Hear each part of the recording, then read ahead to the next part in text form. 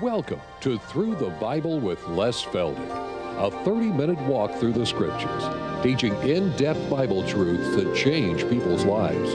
Now, here's your host, Les Feldick. Hey, it's good to see everybody in. My goodness, we've got, uh, I think, every chair filled, and we've got a lot of out of state listeners today. We got two up here from Florida, we got six back there from Pennsylvania. And uh, we've got several other new ones from our area, so we want to welcome every one of you. And uh, of course, if you don't want to be on the television camera, why, you got to let the guys know, otherwise, they're going to seek you out and uh, they're going to give you a, a, a, shot sooner or later through the afternoon. But anyhow, we're glad you're here. And for those of you joining us on television, again, we're just going to uh, open the scriptures and hopefully clarify a lot of questions because I can tell from the mail and the phone calls that some of the things we teach are just absolutely new to so many people, and yet it's not new. It's been in here for thousands of years. The only thing is they just can't see it. But we're going to do our best to uh, keep opening the scriptures, not what I think or what any denomination thinks, but what does the book say? All right, now for just a little refreshing of our memory, I'm going to look at a couple of the verses we closed with in our last program, which on television, of course, was just yesterday, but for those of us in here, it's been two weeks ago. But turn back with me to Luke chapter 1, and we've been looking at this whole concept now of connecting the dots, drawing the big picture from Genesis to Revelation. And the biggest share of it, of course, starts in Genesis chapter 12 and the call of Abraham and the appearance of the nation of Israel. The first 11 chapters are just what I call a disaster, and uh, it's, it's pitiful how everything went down, down, down from the time of creation until God called out Abraham. Well, we came up through the Old Testament then in our last eight programs, showing the person of the coming king and uh, how he had been prophesied all the way up through the Old Testament. And now today we're going to look at the physical aspects of the kingdom over which this king will one day rule. And uh, so, just to pick up a little, like I said, a mind refresher from our last program, turn back with me where we stopped in Luke chapter 1, where Zacharias the priest has now had this outpouring of information from the inspiration of the Holy Spirit. It's not just like I always say, the wishful thinking of a good Jew but rather this was the very mind of God.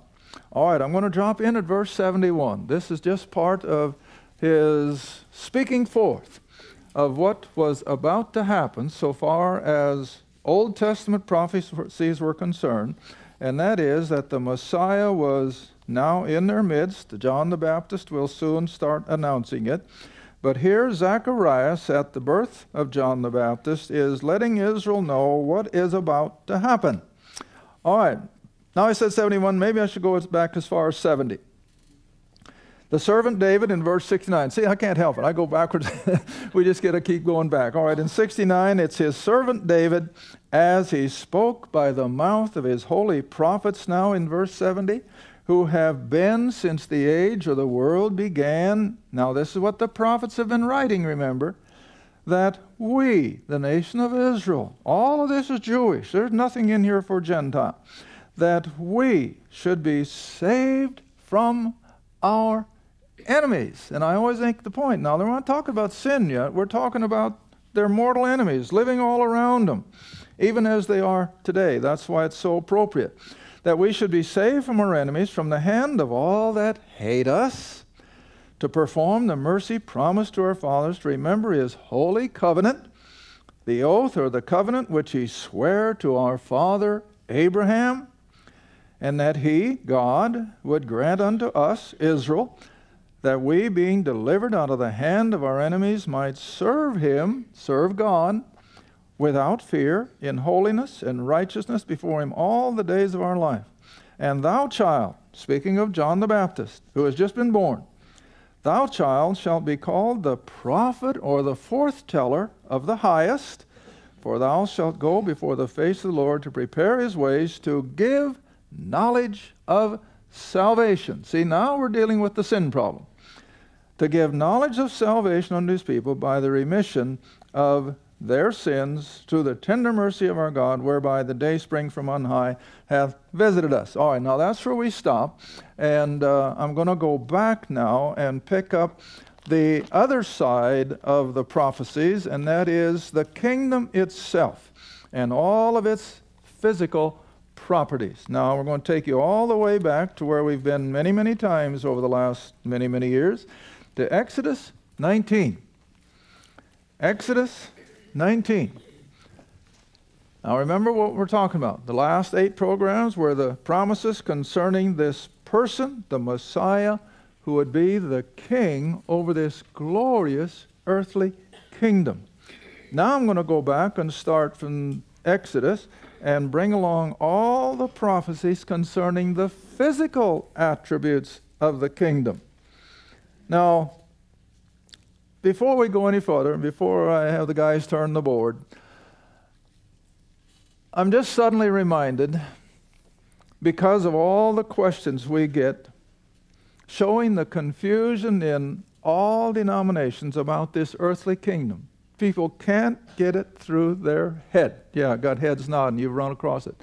They can't get it through their head that when time ends, as we understand it, and the tribulation has run its course, and the earth, of course, has been devastated by God's judging the iniquity of mankind. And the earth is going to be totally renovated, regenerated, and reconstituted. Now, those were the words that are used in Scripture. And it'll be an earth like the Garden of Eden, and that will bring in the thousand year earthly kingdom. And they can't, they can't get it through their head. Well, then I'm just suddenly brought to mind when my youngest son Todd went up to Southern Illinois University. That was back in the late 80s, wasn't it, honey? And the first day he or the first Sunday he was up there in uh, in Carbondale, he found a church and he went to a Sunday school class of college kids. He was up there working on his masters. And the subject in that Sunday school that morning was the kingdom of heaven. And all they could talk about was the invisible spiritual aspect of that kingdom of heaven. And he said after about 20 minutes, he just couldn't hold it any longer. And he interrupted and he said, No, wait a minute. You've got it all wrong. This isn't an invisible kingdom, it's a visible, veritable kingdom over which Christ is going to rule and reign as king. And now, how I picked it up, we came in the house from church and the phone was ringing, and Todd was on the phone, all shook up because of what he had just experienced at his Sunday school in church. And I mean, he was shook up, wasn't he, honey? Almost, uh, he probably wouldn't want me to say this, but almost in tears because when he pointed out their error, that this isn't something invisible and spiritual, it's a physical, visible kingdom. And he said, Dad, what do you suppose they, they almost screamed at me? And I said, Tell me. You mean it's a political thing? and he said, Well, if you want to call it that, yes, but it's going to be a kingdom over which Christ is going to rule and reign. Said, they couldn't get it. And they just scoffed and scorned him. And he says, I'll never go back. Well, I don't blame you. I wouldn't either. But see, that's the mentality of Christendom. Because Todd wouldn't go to some offbeat liberal church. He went to what he thought was rather biblical. But see, they have no concept of this earthly, glorious, 1,000 year kingdom over which Christ is going to rule and reign. But it's through all of Scripture, as I'm going to show you today, continuing on from the last eight programs. All right, so now the first real mention of this kingdom is in Exodus 19. So turn with me to Exodus 19, and we're going to jump in at verse 3. And then we're just going to do a lot of Bible reading today. So, those of you out in television, bear with me. We're, we're just going to let the Scripture speak for itself. I don't have to comment on it. It's so plain, the language is so evident that we can just let it speak. All right, Exodus chapter 19, we're going to start at verse 3. And Moses went up unto God up there at Mount Sinai, I remember, and they're all gathered around the mountain. They've just escaped from the Red Sea experience. Moses went up unto God, and the Lord called him out of the mountain, saying, Thus shalt thou say to the house of Jacob, and tell the children of Israel, You have seen what I did unto the Egyptians, and how I bare you on eagle's wings, and brought you unto myself. Now therefore, if you will obey my voice indeed, and keep my covenant, which he's going to give now in chapter 20, the covenant of law, the Ten Commandments, and all the rest of it. If you will obey my voice indeed and keep my covenant, then you, now we're talking about the nation of Israel again, you shall be a treasure unto me above all people. They're going to be the chosen race. And God says, I can do this because I'm sovereign. All the earth is mine. And now here it comes. Verse 6 And you shall be unto me a kingdom of priests. Now, way back, I haven't done it for a long time. Way back, I said, The kingdom is the kingdom, is the kingdom, is the kingdom. What kingdom is it talking about? That thousand year reign of Christ, where the world is going to be totally under his dominion. It's going to be heaven on earth, and that's why it's called the kingdom of heaven. It's going to be completely void of sin and death and disease and all the things concerning the curse because the curse will be lifted. Satan is removed, he's locked up in the abyss. And so it's going to be heaven on earth. So keep that locked in your computer that we're talking not about heaven of the heavens. The Bible doesn't tell us much about that. All we know about the heaven of the heavens, it's going to be glorious. But we get all these descriptions of this earthly kingdom, and we're going to see them today. All right, so Israel now then is given the prospect that when this kingdom comes in, and all the nations are going to be represented, they're all going to be starting on a population explosion right along with Israel, but that every Jew had the prospect of being a priest, not just the tribe of Levi, all of them. But they're going to have to meet God's conditions, see? So if they would be obedient, then God would bring in this glorious opportunity for every last Jew. All right? You shall be unto me a kingdom of priests, a holy nation. Now, you see, that's exactly the same words that Peter uses in his little epistle when he addressed the Jews of his day, that they were promised to be priests and a holy nation. That's not to us. Paul never, never does Paul call the grace age believer a priest. We're members of the body, we're ambassadors, and we are certainly the promoters of truth and all that, but we are never called priests in the body of Christ. All right, so every Jew in the prospect to be a priest in this kingdom, a holy nation, these are the words which thou shalt speak.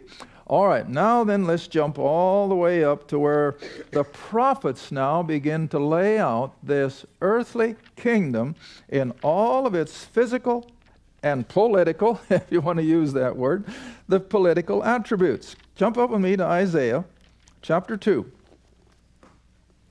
Isaiah chapter 2. And as far as I can tell, this is the real first prophetic utterance, unless David may possibly have it in the Psalms. But of the prophets, this is the first instance that we have this kingdom alluded to. Isaiah chapter 2. Might as well start verse 1. Isaiah chapter 2, verse 1 the word that Isaiah the son of Amos saw concerning Judah and Jerusalem. Now, verse 2 It shall come to pass.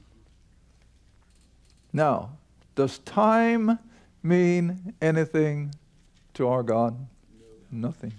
He's timeless. And so, even though Isaiah is writing 700 years before Christ, and this hasn't happened yet, don't you believe this stuff that everything ended in 70 AD. Uh, I, I, can't get over Can you, Buzz? I just can't get over it. How in the world they can say this kind of stuff? But anyhow, this has not happened yet. Does that mean it isn't going to? Well, of course not. God is timeless. His wheels grind slowly. It's going to happen. Now we can see the evidence that we're getting closer and closer. I still like to go back to my old cartoon of the caveman, don't I, honey? Yeah, almost every once in a while I pull it on Iris. You know, the old caveman was sitting in front of his door and he had a big sign over it, the end is near. And then he must have had a second thought and he put ER on the end of it. The end is nearer. Oh, okay, it's nearer now than it was two weeks ago when we were here. But it's getting closer and closer and closer. And again, you know, I'm always going back to that verse in Galatians I did in the last taping. How did Paul refer to the birth of Christ at Bethlehem? That when the fullness of the time was come, God sent forth his Son. What does that mean? God, in his foreknowledge, knew exactly what day Christ was going to be born. He knew the hour but he doesn't necessarily reveal it. Now, the same way here. God knows when this is going to come to pass. We don't. All we know is we're getting closer and closer. See? All right, back to the Isaiah chapter 2. It shall come to pass in the last days that the mountain or the kingdom of the Lord's house shall be established in the top of the mountains. Now, remember the word mountain in the Old Testament uh, verbiage is a kingdom. All right, so this kingdom is going to be above all the other kingdoms of this world. It'll be exalted above even the smaller kingdoms. And now here's the part I want you to highlight or remember or do something with it. And all nations shall flow where? Into it. Now, as we come up through the scriptures this afternoon, keep those words uppermost in your thinking that everything in that kingdom is going to flow into the capital city of that kingdom, which will be Jerusalem. All right? So all the nations shall flow into it. All right, now then, let's just jump all the way up to uh, chapter 9. Acts chapter 9. Now, this is all we're going to do all afternoon, is just look at these uh, chronologically unfolding scriptures that are describing this coming kingdom that, regardless of how you look at it, has not happened yet, but it's going to. All right? Verse 6 and verse 7 of uh, Isaiah chapter 9. Isaiah chapter 9. Verse 6 For unto us a child is born, a reference to Bethlehem. A son is given, and the government. Now, do you want to call it political? See, the only trouble is in our understanding of Scripture, if it's political, it's bound to have what go with it? Corruption. Yeah, absolutely. But not in this one. This is going to be a government that is as holy and righteous as God Himself. So you can call it political, but leave the corruption aside. All right, so the increase or in the government shall be upon His shoulder, that is, this one who was born in Bethlehem.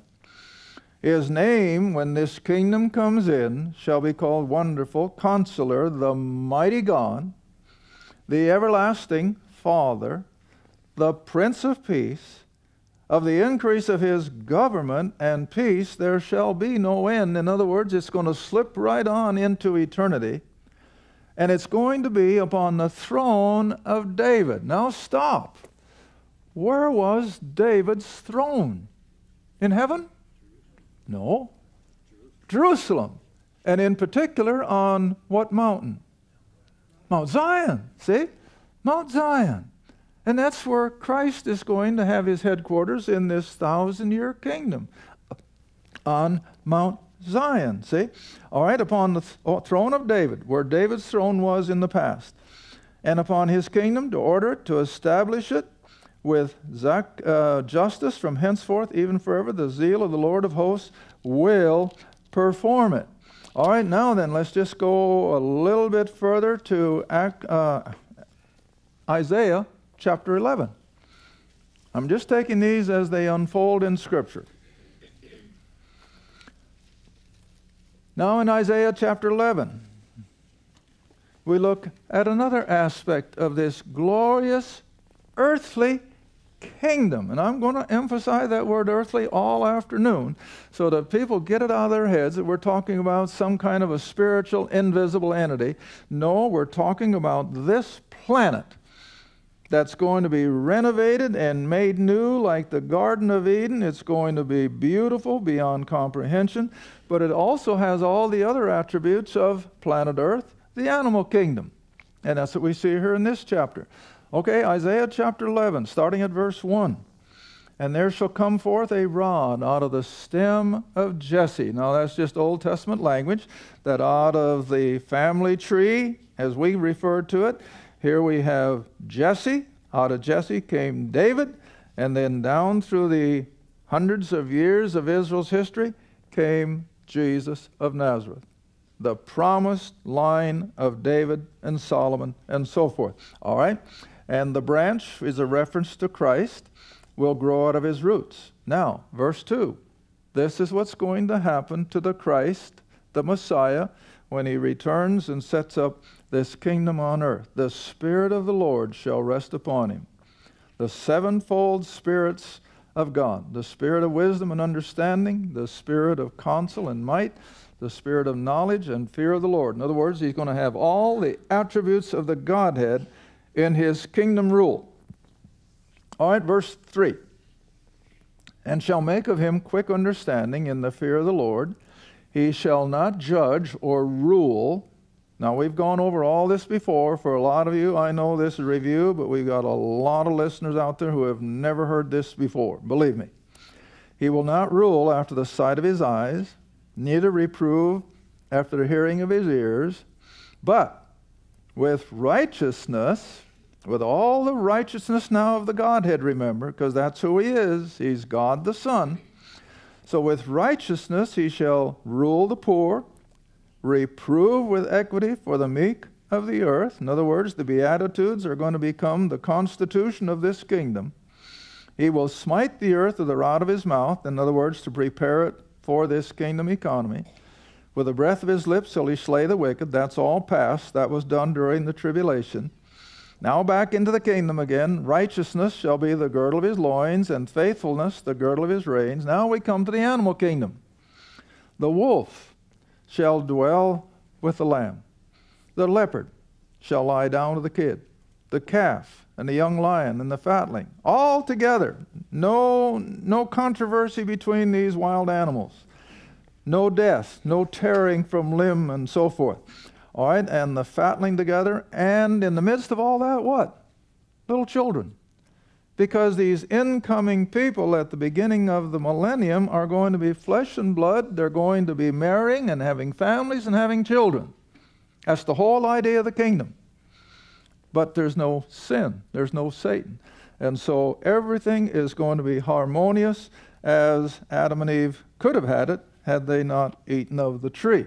Well, anyway, how can this happen? I always have to do this because otherwise people say, well, now this doesn't make sense. All right, come back to Genesis chapter 1. How can all these carnivorous animals, the lion, the wolf, and the tigers, and the leopards, how can they all be cohabiting with little children and with lambs and goats, which would ordinarily be their easiest prey? But here's the reason Genesis 1, verse 30. Genesis 1, verse 30. And this is the way it's going to be again. See, now this is before Adam ate. This is before the curse fell. This is the way God originally created it. All right? Genesis 1, verse 30. To every beast of the earth, to every fowl of the air, to everything that creepeth upon the earth, wherein there is life, I have given every green herb for food. And it was so. Now, what does that tell you? Everything. The carnivores, as we call them, the lions and the leopards and the goats and so forth, are all going to eat of things that grow naturally. That's what we mean by the herbs. Nothing will kill something else for its diet. And that's why it's going to be so glorious. See? All right, so now then, with that concept, since the curse will be lifted, Satan is locked up, yes, this becomes very believable. See? Back to Isaiah 11. And uh, now, verse 7. The cow, the domesticated cattle, and the bears. That would never happen ordinarily, but it's going to because it's going to revert back to the pre fall. And so the cow and the bear shall feed, that is, together. Their young ones shall lie down together. And the lion of all creatures, the lion shall eat straw or herbs or grass or forage, however you want to put it, just like cattle. The lion won't have to have meat for its diet. The lion's whole digestive tract will be changed again so that it'll be like it was before the fall where everything ate those things that grew naturally. All right, then verse 8 And the nursing child shall play on the hole of the, of the asp, a poisonous snake, and the weaned child. See, we're showing that there are different stages of children, just like today. There's going to be infants and toddlers and older kids, and they're all part of this glorious kingdom economy now. And the weaned child shall put his hand on a cockatrice's den.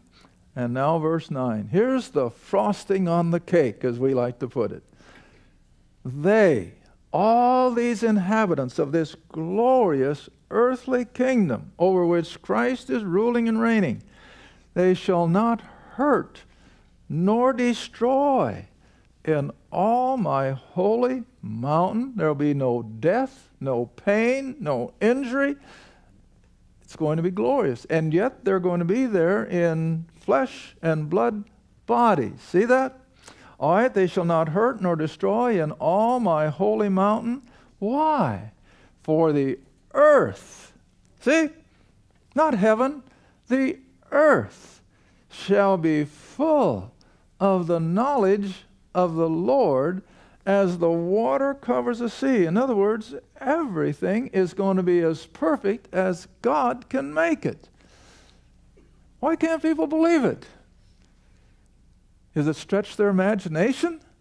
My goodness, you know, if God could create the universe with all of its billions and billions and billions of stars and galaxies, you tell me that He can't make this possible? Why, this is nothing compared to what he's already done. And all he asks us to do is what? Believe it. That's why faith is the key. God wants us to believe what he says, and he's going to reward us accordingly. Thank you for watching Through the Bible with Les Feldick. Through the Bible is a partner supported ministry.